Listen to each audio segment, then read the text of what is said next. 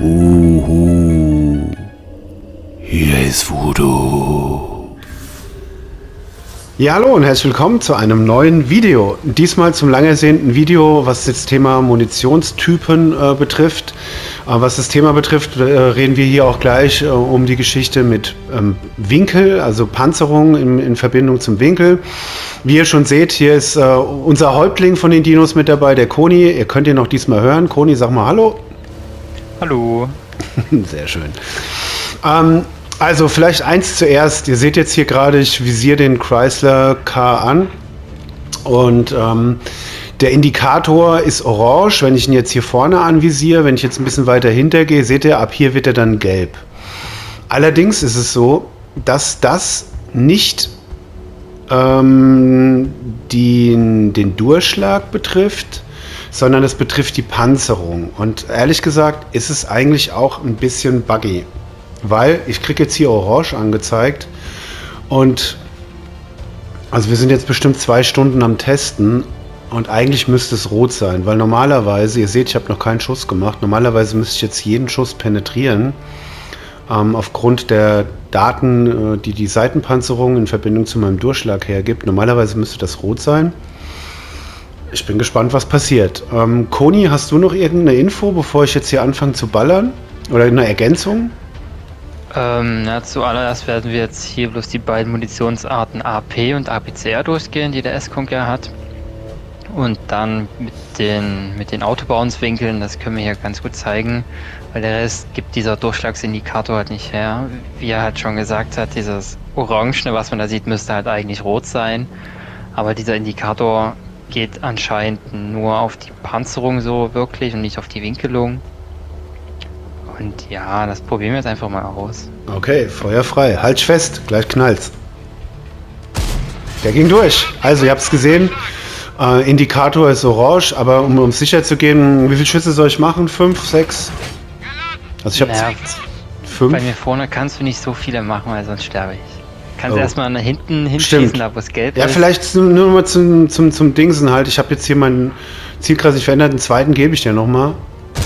Ja, okay, also ihr seht, relativ zuverlässig komme ich durch. Und jetzt seht ihr, jetzt, geht, jetzt wird es schon gelb, also hier ab der Mitte. Ich baller jetzt aber trotzdem mal hinten drauf. Jetzt dürfte ich eigentlich auf gar keinen Fall durchkommen. Ich hoffe, es ist auch so. Die Spannung steigt. Achtung. Okay, das war ein, das war ein Abpraller, richtig? Genau, das kann man, zum einen hört man das. Das ist halt ein anderer Sound, als wenn man also wenn man die Panzerung nicht durchschlägt, weil sie zu dick ist. Und man sieht halt auch, wie das Geschoss wegfliegt, wenn man ganz genau hin drauf achtet. Wenn man genau hinhört? Zum einen hört man es und wenn man halt drauf achtet, dann ja. sieht man es. Okay, ich baller jetzt trotzdem nochmal stumpf hinten drauf. Genau, Einer. Also da passiert Der nichts. Grund, warum, warum er da hinten jetzt abprallt, ist halt, dass es für AP und APCR so einen Autobauenswinkel gibt. Und der liegt bei 70 Grad. Das heißt, wenn die Panzerung 70 Grad oder mehr beträgt, dann kann man nicht durchkommen, egal wie viel Durchschlag man hat. Selbst wenn man 5000 Durchschlag haben würde, man könnte nicht durchkommen. Das ist halt so dieses System, was es hier gibt. Okay. Ähm, eigentlich würde ich sagen, dürfte es das schon gewesen sein zum Thema APCR und AP. Oder fällt dir noch was ein? Na, es gibt noch diese Normalisation. Mhm. Das könnte man vielleicht noch mit ein bisschen ergänzen. Die beträgt bei AP sind das 5 Grad, bei APCR sind das 2 Grad. Das heißt, die AP-Munition verbessert den Winkel um 5 Grad. Ab 69 Grad, also ab 70 Grad Seeautobounce. Das heißt, wenn man jetzt die Panzerung, wenn die 69 Grad angewinkelt ist und man schießt mit AP drauf, dann sind das nur noch 64 Grad. Und bei APCR wären das dann nur noch 67 Grad. Wie okay. genau das dann die, die Panzerung noch verändert, das ist noch so ein anderes Ding. Das lässt sich auch sehr schwierig ausrechnen, da man halt nur diese, diese ähm, normale Panzerung nimmt mit den effektiven Winkel und das lässt sich halt fast gar nicht ausrechnen. Ja, wir wollen es ja auch gar nicht zu kompliziert machen. Also ich denke, was für euch genau. wichtig ist, wenn ihr es hinbekommt, dass euer Winkel, also wenn ihr sidescrapt, dass ihr bei 70 Grad oder auch mehr seid, also 72, 75 Grad, dann kann euch keiner ähm, penetrieren. Kurze Frage, Koni, was ist, wenn der mit, äh, mit Heat, kommt er auch nicht durch, aber mit HE an der Seite kommt bei, er natürlich durch, bei, ne? Bei Heat ist dieser Autobounce-Winkel bei 85 Grad. Oh, okay, wichtiger Hinweis. Okay, also das schon mal gleich vorab. Also bei Heat sind es dann 85 Grad, mit HE ist es egal, da kommt man, ja, kommt man auch bei, egal welchem Winkel, ihr macht immer Schaden, ihr müsst nur irgendwo treffen, richtig? Genau, HE hat das halt gar nicht, genau. Genau, okay. Gut, dann würde ich sagen, haben wir äh, das hier schon mal äh, beendet. Wir gehen jetzt nochmal auf den nächsten Munitionstyp und dann bis gleich. Jo, und weiter geht's. Ähm, jetzt sind wir beim Munitionstyp HE, High Explosive. Ich übergebe das Wort mal an den Koni und er erklärt euch jetzt, wie das mit der HE-Munition so funktioniert. Die HE-Munition ist ein bisschen komplexer als AP oder APCR, denn der Schaden bei, bei einer nicht penetrierenden Granate ist abhängig von dem eigenen Kaliber, von der Durchschlagskraft der HE, von dem Sprengradius, von dem Schaden und von der Panzerung des Gegners. Gut, dann schieße ich mal drauf an die Stelle, wo wir eben schon getestet haben, bei dir oben am Turm. Ich bin jetzt auf meiner Standard-HE und gebe mal einen Schuss ab. Und ihr seht, ich mache keinen Schaden. Warum mache ich keinen Schaden? Weil die Explosivmunition findet da oben nichts, wo es auf Deutsch gesagt durchkommt und irgendwie Schaden machen kann.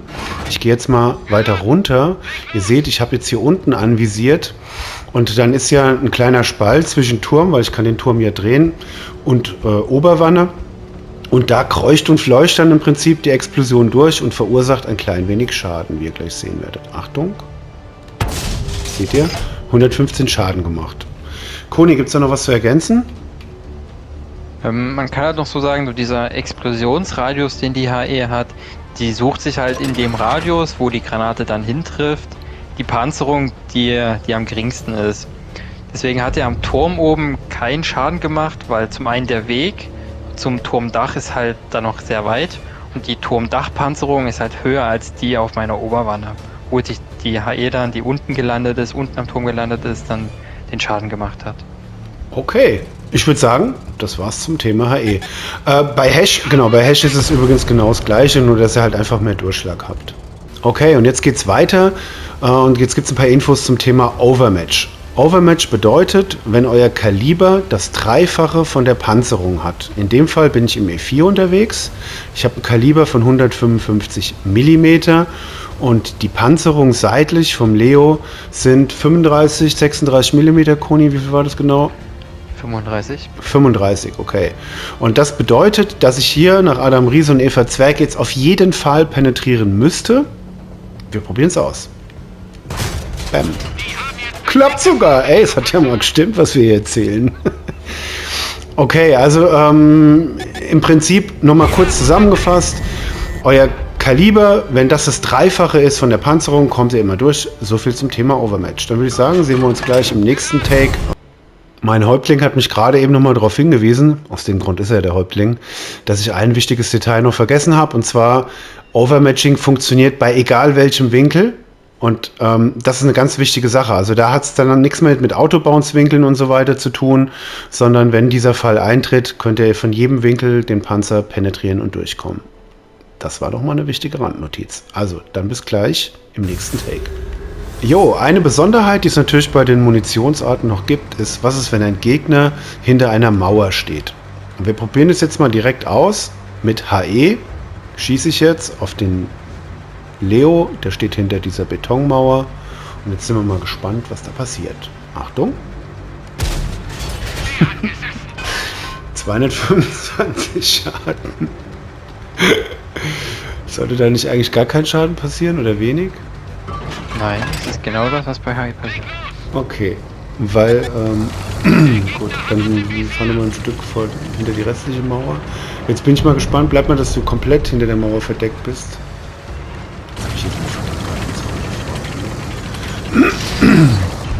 So, jetzt bist du komplett. Sehe ich dich gar nicht. Ja gut, ich muss es mir denken. Ich schieße jetzt nochmal. Jetzt ist ja mehr Mauer dazwischen. Achtung. Ah, okay, also auch wieder. Also, äh, Schlussfolgerung daraus ist, ähm, mit HE bleibt zwar ein wenig an der Mauer hängen, aber es explodiert ja an der Mauer. Und das heißt, die Explosion kommt dann sozusagen hinten aus der Mauer raus und ähm, ja, richtet dann halt eben Schaden bei Konis Panzer an.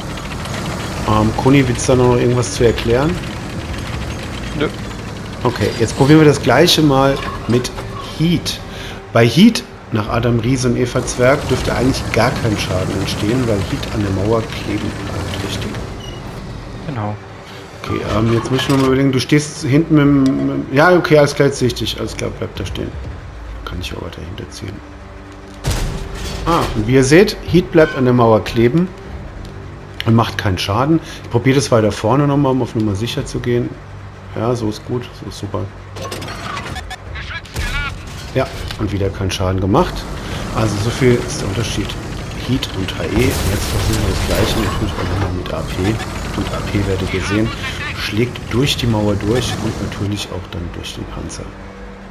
Er legt rein. Ja, und das ist dann natürlich ein etwas höherer Schaden. Hm, probieren wir gerade nochmal einen Sicherheitsschuss zum Verifizieren. Und zack. Gut. Ähm, dann würde ich sagen, nochmal zusammengefasst, also HE, wenn der Gegner nah hinter der Mauer steht, macht er mit HE auch Schaden, je nachdem natürlich, wie viel Panzerung der Gegner hat und wie viel Durchschlag die HE-Mumpel hat und auf welchen Sprengradius, aber generell besteht ja die Möglichkeit, dass ihr Schaden macht. Bei Heat allerdings bleibt ähm, die Granate in der Mauer kleben. Genau, du hattest, wir haben natürlich dieses Video auch jetzt schon zum zweiten Mal aufgenommen. Du hattest eben noch eine wichtige Info in dem Take davor, äh, was die Millimeter betrifft, wo ähm, äh, dann, ähm, wo dann abnimmt, also wo dann die Mumpel im Prinzip hängen bleibt. Was waren das, 25 oder 15? Bei AP und APCR, die man hinter Mauern schießt, werden genau immer 25 mm von dem Durchschlag abgezogen. Also nicht nur Mauern, generell bei Gegenständen. Zumindest so die Theorie. Die Theorie, genau. Also es ist dann egal, ob das jetzt ein Holzzaun ist oder, oder wie hier jetzt eine gemauerte, äh, eine Mauer aus Stein, das ist dann wurscht. Also das wird dann immer gleich abgezogen. Okay, gut, dann würde ich sagen, war es das zum Thema Mauern und so weiter. Dann würde ich sagen, gehen wir ab zum nächsten Thema. Ich drücke dir aber noch einen Schuss. Also, bis gleich. Jo, und jetzt sind wir im letzten Teil unseres tollen Munitionsvideos angelangt, ähm, um euch Heat besser zeigen zu können oder veranschaulichen zu können, zeige ich euch jetzt erstmal den Unterschied hier beim Taran. Ich habe jetzt AP reingeladen und mache dann, wechsle dann gleich mal auf Heat. Also mit AP, wie ihr seht, seitlich alles gelb. Ich baller jetzt erstmal hinten drauf. Da sollte ich auf keinen Fall durchkommen. Die Spannung steigt. Ja, Autobounce. Jetzt probieren wir das gleiche nochmal vorne. Ich habe die Ration reingehauen, er lädt ein bisschen schneller. So, und jetzt probieren wir das gleich nochmal vorne. Und auch nicht. Okay. Und jetzt schalte ich um auf Heat. Ihr seht, vorne ist ähm, das jetzt orange. Und wenn ich nach hinten scrolle, dann wird es gelb. Ich probiere es aber erstmal hinten. Weil aufgrund der Tatsache, dass wenn ich durchkomme, dass der Panzer dann nicht mehr so toll ausschaut. Also hinten mit Heat. Dürfte ich eigentlich nicht durchkommen. Was ein Glück war das auf dem Video drauf. Ihr habt gesehen, wo ich hingeschossen habe. Die Mumpel ging rechts in den Strauch. Hallo Wargaming, könnt ihr das vielleicht mal ändern? Weil das hat ja schon irgendwie nichts mehr mit Genauigkeit zu tun. Das ist ja ein Witz. Okay, probieren wir es nochmal. das gibt es nicht. Man sollte auch treffen, ja. Ja, man sollte treffen. Du siehst es dann im Video. Guck mal, wo ich meine Kanone hinziele und wo der Schuss, der Schuss geht rechts ins Gestrüpp. Ich muss jetzt mal weiter. RNG, genau. Ja, aber das ist ja hier. Achtung, nochmal. Okay, keinen Schaden gemacht. War zwar auch nicht genau da, wo ich hingezielt habe, aber ist wurscht. Und jetzt bin ich mal gespannt. Wahrscheinlich trifft er dich jetzt vorne und nicht an der Seite. Gut, ich habe keine Crew drauf, also von daher die Genauigkeit könnte natürlich besser sein, aber mit ein bisschen Glück trifft er jetzt ja ausnahmsweise mal da, wo ich es vorhab. Also, äh, wenn es jetzt, äh, wenn der Schuss dann da ankommt, wo ich hinziele, dann sollte er jetzt eigentlich penetrieren. Die Spannung steigt. er ist wirklich da hingegangen, Koni. Okay. RNG, okay. Wobei, Koni, bevor ich jetzt hier weiter... Ich, ich mache nochmal einen Schuss und dann probieren wir beide da nochmal schlau draus zu werden. Sekunde. nee, der hat nicht richtig getroffen. Er ging genau dahin. Okay, probieren es nochmal.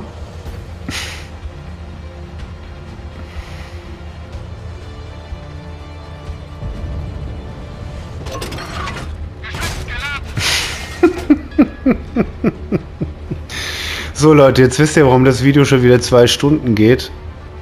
Koni, kannst du das erklären? Ich gucke gerade. Dein Indikator ist Orange.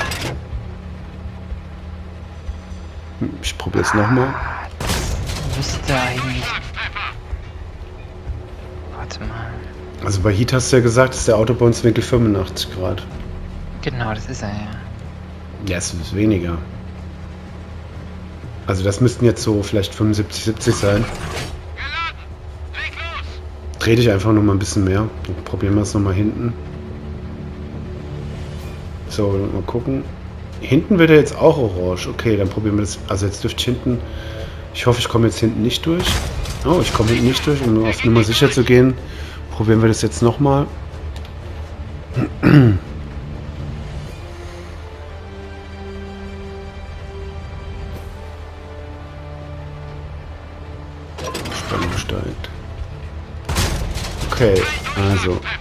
Jetzt bin ich gespannt, ob ich jetzt vorne durchkomme. In sechs Sekunden wissen wir es.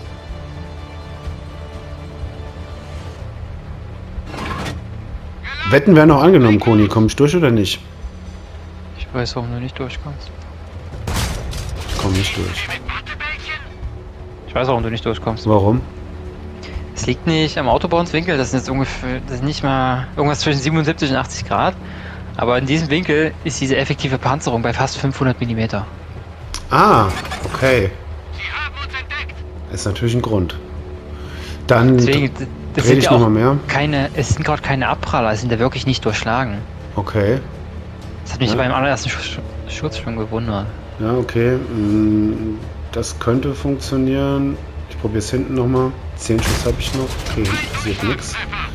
Diesmal geht er zumindest nicht in den Strauch. Das ist doch schon mal gut.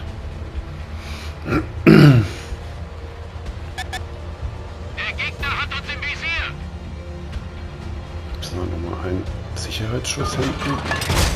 Okay. Wir gehen auch nicht durch. Probieren wir es vorne.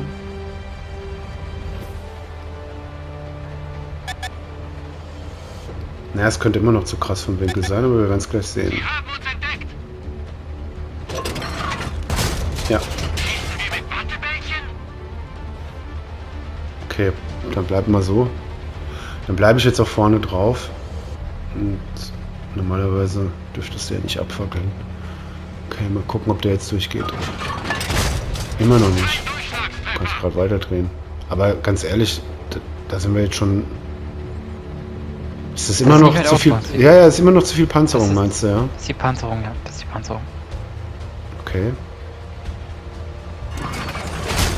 Das war jetzt dann zu viel Winkel. Okay, und jetzt bin ich gespannt, ob ich hinten durchkomme.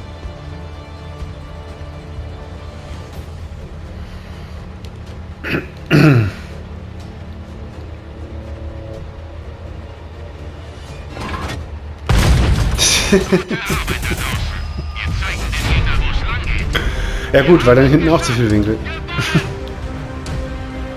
Irgendeine Idee? Wir haben. Wir haben den richtigen Winkel nicht gefunden. Mhm. Damit man es vorführen kann. Damit die Panzerung, damit die Panzerung im Prinzip vorne durchgelassen hat und hinten nicht. Den Winkel haben wir nicht gefunden. Aber im Prinzip, ihr habt gesehen, da reden wir wirklich über Nuancen. Ne? Also ob man das im Spiel dann so weiß, wie viel man jetzt genau anwinkeln muss, das ist schwierig. Naja, das ist halt auch ein Chrysler, der halt 100 mm Seitenpanzerung hat, gegen einen Tarant, der fast 400 Pen hat. Ist halt, Ambitioniert. ist halt selten, dass sowas überhaupt vorkommen würde. Okay, also ich habe die Aufnahme noch drauf. Gibt es irgendwie äh, was, was mal ähm, so ein Resümee, eine Schlussfolgerung, aber vielleicht generell zu Heat können wir noch was sagen. Ähm, Thema Schottpanzerung. Also da haben wir schon mal vor Monaten was probiert mit dem S-Konk. Da sind wir ehrlich gesagt auch nicht so ganz richtig schlau geworden. Ähm, also ja, das wir, Thema wir können ja Heat, die Theorie sagen, Die ist- Theorie, die genau. eigentlich hinter der Heat steckt. Bei einer Heat ist es so, dass beim bei Spaced Armor, wie jetzt zum Beispiel bei dem Schild vom S-Konk, das durchdringt er ja und danach für jeden, jede 10 cm, die die Heat noch weiter zurücklegen muss zur richtigen Panzerung, verliert die 5% an Durchschlag. Das heißt, wenn man jetzt 300 mm Heatpen hat, man trifft das Schild von dem, von dem S-Kong und die Heat musste noch 30 cm weiter fliegen, um zu, dem, zu der Turmpanzerung zu kommen, verliert sie 45 mm an Pen. Das wären dann nur noch 255. Okay, ja gut. Das ist eigentlich ganz gut erklärt. Okay, und jetzt bei dem Beispiel eben ähm, war es einfach nicht der richtige Winkel, den wir zeigen konnten, äh, damit er vorne durchkommt und hinten nicht. Richtig? Ja, ich glaube, das Problem beim Chrysler ist halt, dass die Panzerung ähm, zu dem Zeitpunkt, wo, wo du gebounced bist mit der Heat, war halt der Winkel nicht, das war kein Autobounce-Winkel, das war nicht die 85 Grad, sondern der war schon darunter. Aber darunter ist dann halt die Panzerung so dick, dass du nicht pennen kannst mit mhm. der Heat. Die, war, die Panzerung war immer zwischen 400 und 500 Millimeter effektiv. Ja, und das ist dann einfach zu viel Panzerung, obwohl der Durchschlag schon sehr, sehr gut ist vom Taran, aber dann einfach noch zu viel Panzerung für in dem Fall dann trotz alledem zu wenig Durchschlag. Gut, dann würde ich sagen, dann haben wir, habe ich eine Munitionsart vergessen? Nee, ne? Das müssten eigentlich alle gewesen sein. Höchstens Raketen, aber. Ja, Raketen, ich habe gerade eben drüber nachgedacht. Äh, vielleicht, genau, hat mir auch heute jemand in die Kommentare was geschrieben, ob der RAM- und Splitterschutz, dieses Zubehör, was ich auch teilweise ähm, bei den Heavies auf RA3 verbaut habe oder auch auf dem Mobot, damit man halt beim RAM weniger Schaden erleidet, der hat keinen Einfluss auf Raketentreffer. Das haben wir ausführlich getestet. Also bringt für Raketen nichts. Raketen explodieren auch nicht. Raketen haben ja auch einen Durchschlag. Ähm, eventuell wird es irgendwann mal Raketen geben, die auch irgendwo explodieren, aber aktueller Stand der Dinge ist, dass es halt da eben keinen Einfluss hat. Aber es bringt natürlich euch was, wenn euch der Gegner mit HE beschießt. Ja, vor allem, wenn er euch in den Turm ballert, so wie vorhin mit dem ER100 gezeigt. Also wenn euch einer oben am Turm trifft, dann ähm, wird das garantiert was bringen. Haben wir jetzt nicht ausprobiert, aber ich gehe mal davon aus, das wird schon funktionieren. Gut, dann würde ich sagen, dann vielen Dank, Koni, dass du dir die Zeit genommen hast. Ähm, war dann auch mal wieder mehr als eigentlich ur ursprünglich eingeplant. Ähm, dann so wie immer halt.